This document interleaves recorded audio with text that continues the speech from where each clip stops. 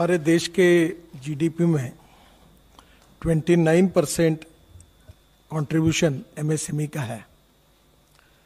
हमारे देश का जो एक्सपोर्ट होता है, वो 48 परसेंट एक्सपोर्ट हमारे स्मॉल मीडियम और माइक्रो इंडस्ट्रीज़ के द्वारा होता है। हमारे देश में अभी तक 6 करोड़ एमएसएमई है और इसके आधार पर आज मोटे तौर पर जो आंकड़ेवारी उपलब्ध है उससे 11 करोड़ से ज़्यादा जॉब्स एमएसएमई ने दी है। इस एमएसएमई की कोई मूलभूत समस्या भी थी और आज प्रधानमंत्री जी की अध्यक्षता में काफ़ी अच्छे और बड़े निर्णय आज हुए हैं और निश्चित रूप से ये निर्णय देश के औद्योगिक विकास में बहुत ऐतिहासिक बदल करेंगे। आपको पता होगा कि 2006 में एक एक्ट पास करके एमएसएमई की व्याख्या की गई थी और वो व्याख्या जो थी, वो उसके बाद घोषणा और उसमें आज का बदल। तीन बातों की जानकारी मैं आपको दे रहा हूँ। एग्जिस्टिंग यानी सबसे पहले पुराना जो बात थी, उसमें मैन्युफैक्चरिंग सेक्टर और सर्विस सेक्टर दोनों अलग किए गए थे और उसमें माइक्रो सेक्टर में इन्वेस्टमेंट यानी टर्म लोन जो होता है जिते इसमें इक्विपमेंट एंड फिक्स मशीनरी जो होती है प्लांट एंड मशीनरी इक्विपमेंट उसकी कॉस्ट वो माइक्रो में 25 लाख थी और टर्नओवर जो था वो 10 लाख का था। अब माइक्रो में जो अनाउंसमेंट हुई थी, उसमें इन्वेस्टमेंट एक करोड़ की हुई और टर्नओवर पाँच करोड़ का हुआ। दस लाख का एकदम पाँच करोड़ हो गया बाद में आज जो मीटिंग हुई, उसमें यही कायम रखा हुआ है। फिर दूसरा सेक्टर था स्मॉल सेक्टर हाँ एक नई बात हुई है कि इसमें जो मैन्युफैक्चरिंग एंड सर्विस सेक्टर है, उसको दोनों को एक कर दिया है। ये अब अलग अलग नहीं रहे। स्मॉल में इन्वेस्टमेंट पाँच करोड़ की थी, वो दस करोड़ की हुई है, और जो टर्नओवर दो करोड़ का था, वो अब पचास करोड़ का हुआ यानी पच्चीस गुना बढ़ा है। जो मीडियम इंडस्ट्रीज़ थी, उसके लिए पहले इन्वेस्टमेंट दस करोड़ थी, और टर्नओवर पाँच करोड़ का था। जो घोषणा हुई तेरह मई को, जो पैकेज हुआ था, उसमें इन्वेस्टमेंट हुई थी बीस करोड़ की और टर्नओवर हुआ था सौ करोड़ का। आज प्रधानमंत्री जी की अध्यक्षता में बहुत ही ऐतिहासिक फैसला हुआ, क्योंकि हमने अलग अलग एसोसिएशन से जब इंटरेक्शन किया और अलग अलग प्रकार के एसोसिएशन से इंटरेक्शन करने के बाद सबने हमें ये कहा कि ये ये जो टर्न लिमिट है, ये बढ़ानी चाहिए। और जो एक्सपोर्ट करते हैं हम लोग, वो टर्नओवर इससे निकाल देना चाहिए। तो आज हमने उनकी बात भारत सरकार ने स्वीकार की और प्रधानमंत्री जी की अध्यक्षता में ये ये मीटिंग में निर्णय हुआ कि अब जो प्लांट एंड मशीनरी में इन्वेस्टमेंट होगी इक्विपमेंट में, वो इन्वेस्टमेंट 50 करोड़ तक रहेगी। जो 20 करोड़ की घोषणा थी, वो 50 करोड़ हो गई। और जो टर्नओवर था, जो 100 करोड़ हुआ था, वो 250 करोड़ रुपए हो गया।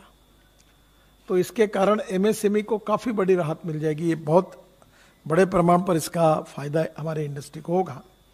पर यह करते समय इसके साथ और एक फैसला लिया गया कि चाहे माइक्रो हो, चाहे स्मॉल हो, चाहे मीडियम हो, वो जितना एक्सपोर्ट करेंगे, वो एक्सपोर्ट का टर्नओवर इसमें नहीं पकड़ा जाएगा। तो एक्सपोर्ट का टर्नओवर इससे बाहर हो गया और ये लिमिट बढ़ गई है और इसके कारण बहुत बड़ा फ़ायदा इस सेक्टर में होगा, ये जो डिमांड थी, ये पूरी हुई है। और इससे निश्चित रूप से हमारे एक्सपोर्ट के लिए भी और एमएसएमई के करके जो एडवांटेज है, वो सभी प्रायोरिटी के रूप में हमारे इंडस्ट्री को मिलेंगे। और इससे नए रोज़गार भी निर्माण होगा एक्सपोर्ट भी बढ़ेगा और हमारे जीडीपी ग्रोथ रेट में इनका सहभाग भी अच्छा होगा। दूसरे दो महत्वपूर्ण निर्णय जिसके बारे में आज फिर से डिटेल में उसका भी प्रस्ताव कैबिनेट ने मंजूर किया रिज़र्व बैंक ने एक यूके सिन्हा कमेटी अपॉइंट की थी। उन्होंने दो रिकमेंडेशंस उनके भी उस समय थे। आज उसके ऊपर आज हमारे मीटिंग में फाइनल उसका निर्णय हुआ है।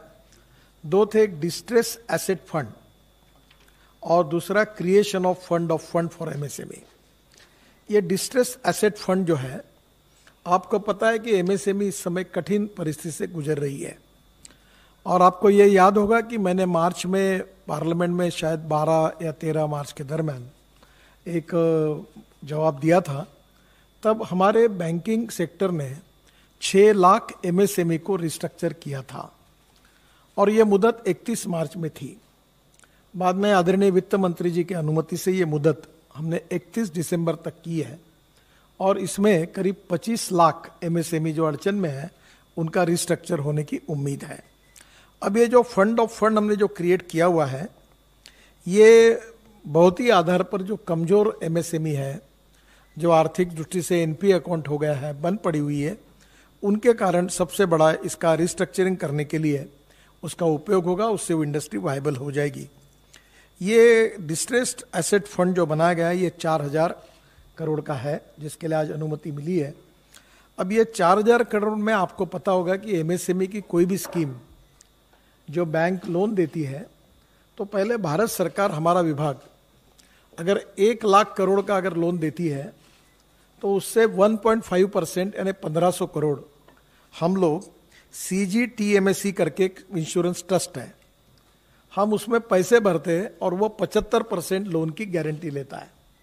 तो ये जो चार हज़ार करोड़ रुपए है, ये जो फंड मंजूर हुआ है, इसको वैसे दस गुना होना चाहिए, पर ये स्ट्रेस एसेट है। एनपीए में आए हैं रिस्क है थोड़ी तो पाँच गुना करके ये होगा बीस हज़ार करोड़ का। और ये बीस हज़ार करोड़ का फंड है, इसमें सबसे इम्पोर्टेंट चीज़ यही है कि जिस एमएसएमई e की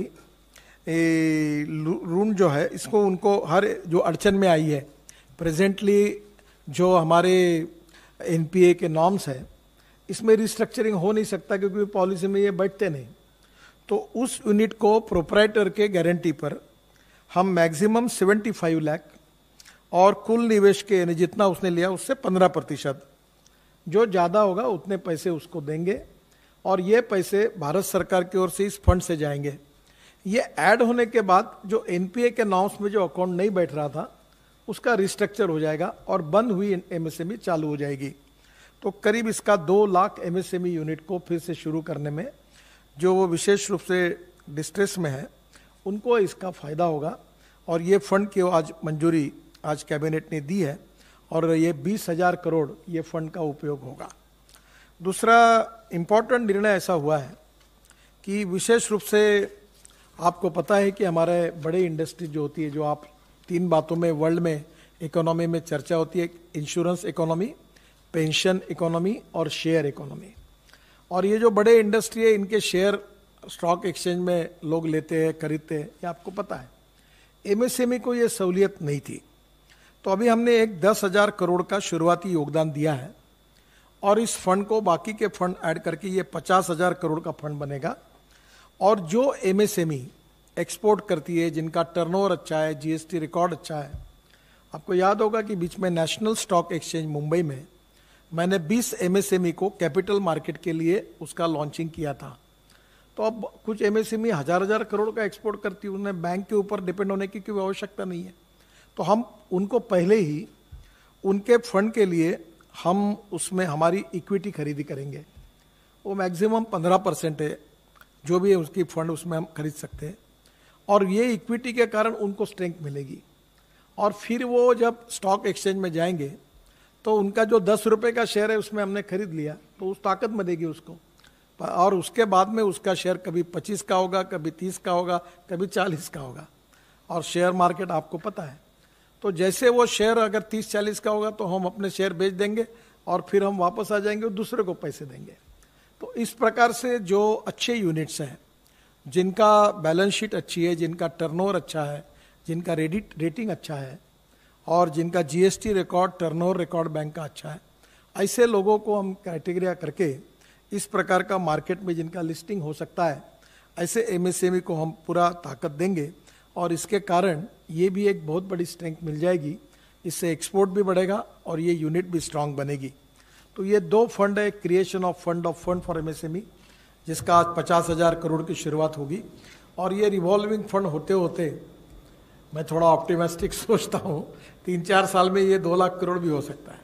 तो ये एक को दिया, एक से निकाला, दूसरे को दिया, दूसरे से तीसरे को दिया। धीरे धीरे हमारी एमएसएमई ये शेयर मार्केट की तरफ़ स्टॉक एक्सचेंज की तरफ़ जाएगी। और जो अच्छा परफॉर्मेंस दिखाएँगे, उनको बाहर से फिर जनता उसमें निवेश करेगी। और एक बहुत अच्छा गेट, गेटवे इसके कारण ओपन हुआ है। तो ये दोनों निर्णय फंड्स के बारे में, एक डिस्ट्रेस एसेट फंड और दूसरा ये फंड ऑफ़ फंड, और उसके साथ एमएसएमई की डेफिनेशन बदलने का जो निर्णय हुआ है, ये अपने आप में आज तक के इतिहास में, ये 2006 में था। बहुत बार ये डेफिनेशन बदलने के प्रयास किए गए थे, पर वो संभव नहीं हुए। इस बार पूरी तरह प्रधानमंत्री जी ने इसको पूरा सपोर्ट किया वित्त मंत्री जी ने किया और मैं एमएसएमई मंत्री होने के नाते देश के तमाम उद्योजकों की ओर से, जो डिपार्टमेंट सबसे ज़्यादा रोज़गार निर्माण करता है, जो डिपार्टमेंट सबसे ज़्यादा एक्सपोर्ट में कंट्रीब्यूट करता है और जो डिपार्टमेंट देश की वेल्थ में बैकबोन है, ऐसे डिपार्टमेंट में इन लोगों को स्ट्रांग करने का एक बहुत इंपॉर्टेंट पहल आदरणीय प्रधानमंत्री जी ने की है। इसके बहुत अच्छे परिणाम आने वाले समय में, इस संकट के समय में निश्चित रूप से उपयोगी होंगे और आएँगे। मैं प्रधानमंत्री जी का बहुत बहुत अभिनंदन इस विभाग का मंत्री होने के नाते इन तीनों निर्णय के लिए करता हूँ।